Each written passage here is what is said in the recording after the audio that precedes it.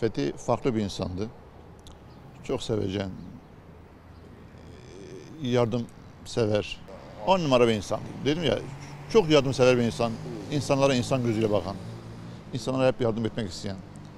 Yardım ederken hiçbir menfaat beklemeyen, hiçbir karşılık beklemeyen cengaver, atak bir insandı. Her yere koşan bir insandı.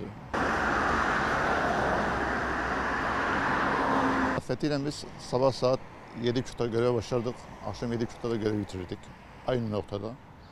Adliye önündeki o kocaman caddenin üzerinde beraber görev yapardık. Çok anılarımız var. Yani anlatılamayacak kadar anılarımız var. Anlatılan var, anlatılmayan var. Dediğim gibi hatıralarımızda yaşıyor. Unutmam mümkün değil. Ha, öyle bir arkadaştan, öyle bir insana arkadaşlık yaptığım için de gurur duyuyorum. Çünkü gerçekten güzel bir insandı. iyi bir arkadaştı. Unutamayacağım, unu- asla da unutamayacağımız bir arkadaşımızdı. Mesela birinde yine bir anons gelmişti. O da yine unutamadığım bir olay. Manisa'dan gelen bir tır frenleri patlamıştı. Yokuş aşağı e, sürücüsü 155'i aramıştı. Böyle böyle işte benim tırın frenleri koptu, patladı. Yokuş aşağı gidiyorum. Araç kontrolsüz. E, haberiniz, bilginiz olsun diye. Haber merkezi de anons etmişti işte. Böyle bir durum var diye. Fethi hemen atladı motor. Fethi nereye? Abi o dedim Fethi bak senin burası orayı senin görev yerin burası. Sen ne işin var orada?